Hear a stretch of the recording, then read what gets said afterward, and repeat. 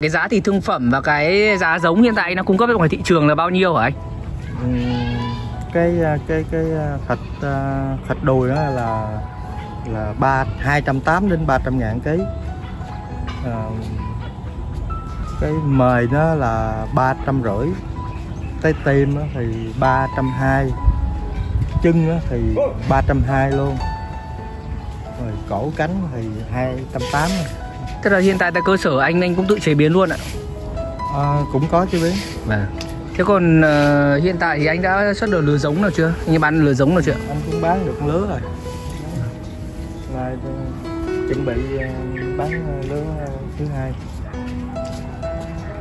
Hiện tại thì uh, giống đa điểu này anh đang xuất ra ngoài thị trường bán đợt vừa rồi là bao nhiêu tiền một đôi ạ? Hay bán theo cặp hay bán theo con này? À, một đôi anh bán uh, 3 triệu tư. Yeah. 1 triệu 7 một con.